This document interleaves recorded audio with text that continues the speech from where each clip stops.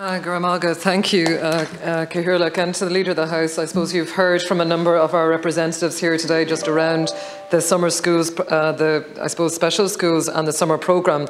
The summer programme has roughly 40 million been allocated to it. And I did ask, and principals came to me, I suppose, with some feedback. And, you know, we are seeing that um, there are a number of schools that did roll this out last year. We're seeing about one in four schools but we need to see more of our mainstream schools doing this as well because we are looking to bring children uh, with special needs into our mainstream schools and then for our special schools to handle children with more severe to complex, challenging needs. So it needs to be really clear that for our special schools there are uh, more challenging behaviours and getting new teachers to come in to do the summer programme can be a challenging space.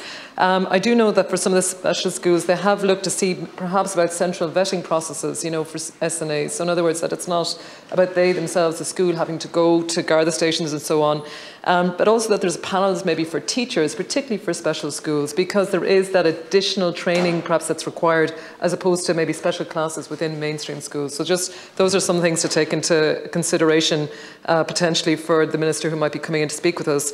Just the two other areas just to mention is just for Lough Funshinagh, of course, we know about all the families and people living around Rahara, Bala, um, you know, around the around Lough Funshinagh, again, the rising flood levels of the Turlough, and I know Senator Murphy here has raised this on a number of occasions, and I really want to welcome yeah, I want to welcome the group actually that are arriving today into the Agricultural Committee and together with public representatives, you know, Minister Patrick O'Donovan and OPW officials met with the Lough Funshinagh group back in July.